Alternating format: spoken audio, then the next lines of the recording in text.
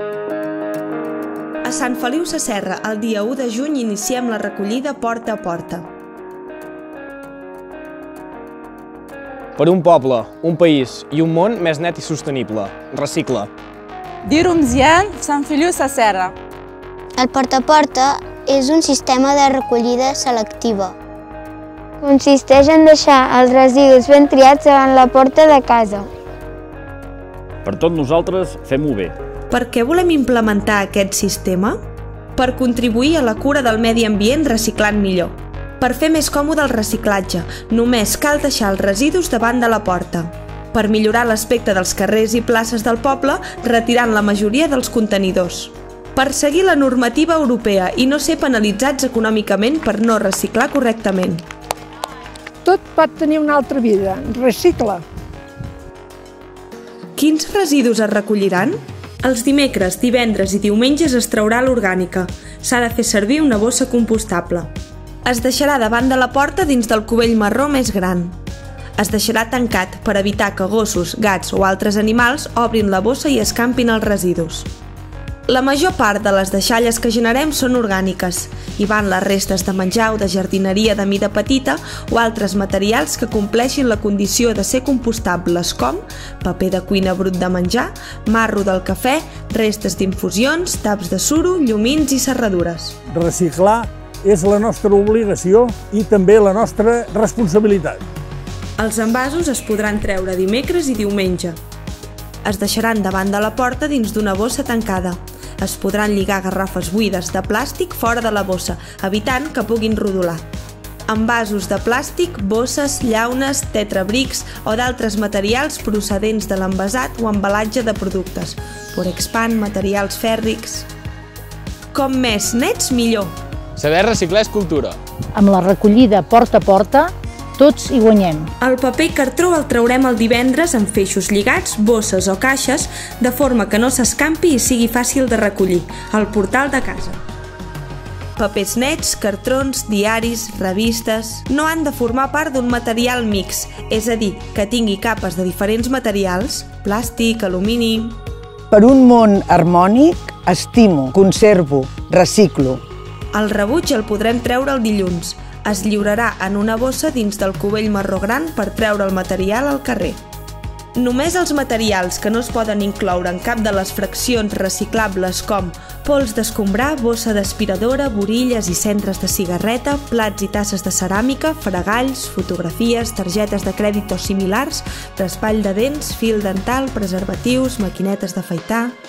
Davant de possibles dubtes, consultar la pàgina web Residu on vas. Recicla, el nostre poble s'ho mereix. Recordeu que aquí a la deixalleria i a les deixalleries dels pobles veïns hi podeu portar Oli vegetal, les piles, les bombetes, les càpsules de cafè, les radiografies... Cada cop el preu que es paga per la tonelada de rebuig que es porta a l'abocador és més gran. Com més bé reciclem, menys cost econòmic pel poble. Per tu, per mi, per un futur millor. Dóna vida al planeta. Recicla. Ens volem sentir orgullosos del nostre poble.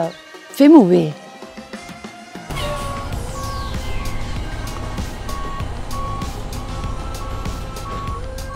Si detecteu una bossa on les deixalles que hi ha no estan ben triades, què feu? Agafem una etiqueta i llavors aquí marquem si el material està mal seleccionat o si s'han equivocat de dia o bé si va, en vez d'anar amb els voluminosos, va amb la poda. Llavors ens agafem i la clavem a la bossa i la deixem allà. Llavors aquí, l'any demà, intentem posar-nos en contacte i se li explica i les vegades que faci falta. Encara que l'horari per treure els residus és de dos quarts de set a un quart de nou del vespre, en quin moment és millor treure'ls?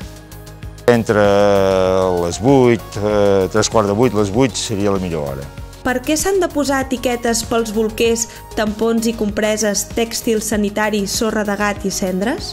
A veure l'etiqueta ja directament eh, sabem que allò va rebuig. I si un dia plou, les traiem igualment? En cas de pluja, l'únic problema que hi pot haver és si fos en cas de neu, però en pluja no hi ha cap problema.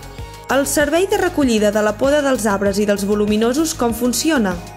La poda no és agafar i esporgar un arbre i deixar tot l'arbre allà a terra. S'hauria de fer amb trossos de metre, més o menys, i ben lligats. Queda més ben arreglat eh, al carrer deixant-ho així, va més bé d'agafar, i això sobretot, que no, ni la gespa ni la poda no passi d'uns 20 quilos per paquet.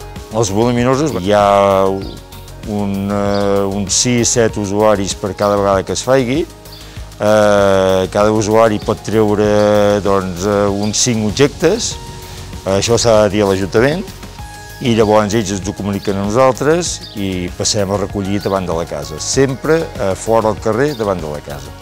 L'experiència en altres pobles on també feu la recollida selectiva és positiva?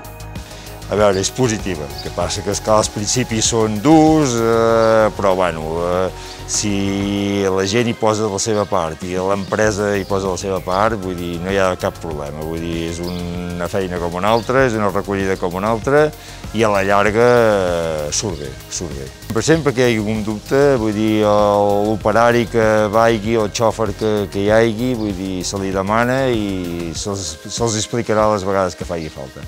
Mentalitza't, no ho llencis, recicla. Per un poble més net, reciclem. Entre tots, aturem el canvi climàtic. Recicla.